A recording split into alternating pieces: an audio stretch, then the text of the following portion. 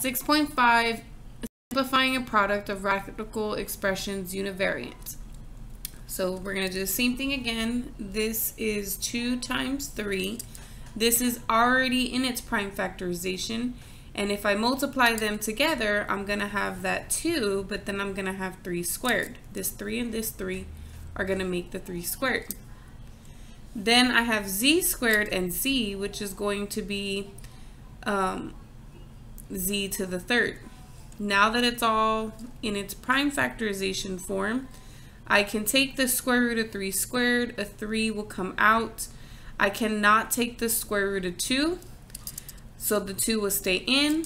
When I do the square root of um, z to the third, 2 will go into 3 one time, so 1 will come out, but I will have 1 left over, so 1 will stay in.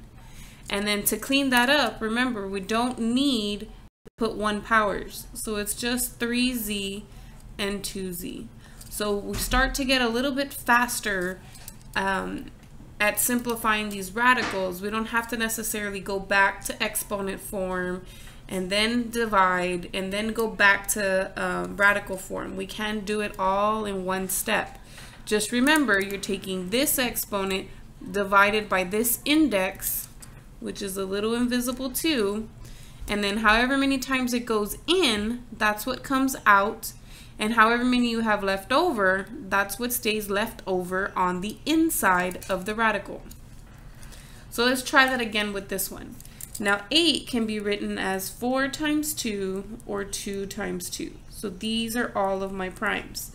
In this square root, that's just the 1 prime. So if I write that in prime factorization, that means there's 1, 2, 3, 4 2's. So 2 to the 4 power. And then if I multiply my c's together, 3 and 4 are going to get added, and I get c to the 7th. So again, my index is 2. 2 goes into 4 two times with none left over. So I will not have any 2's in my radical. 2 goes into 7 three times, but I will still have 1 left over on the inside.